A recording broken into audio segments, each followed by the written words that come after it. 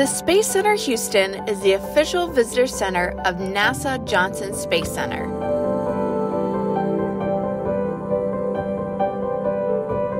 Be sure to sign up for the tram tours when you first arrive so you don't miss the trips over to NASA.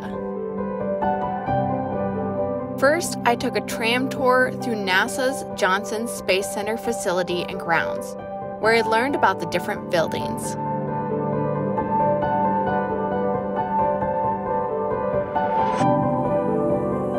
At Mission Control, we got to see the actual control room where the first moon landing was viewed.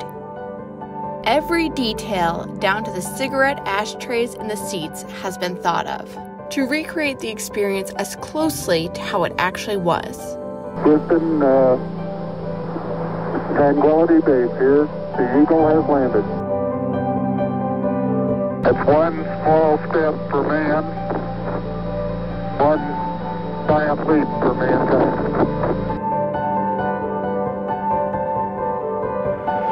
The second tour was to the astronauts' training facility, where they are training for current space missions.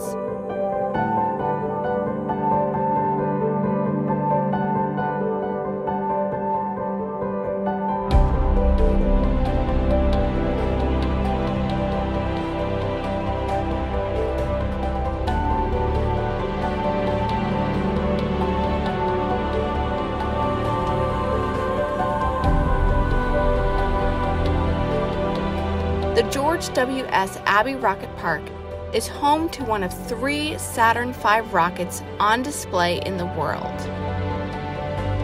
It is the tallest and most powerful rocket ever launched.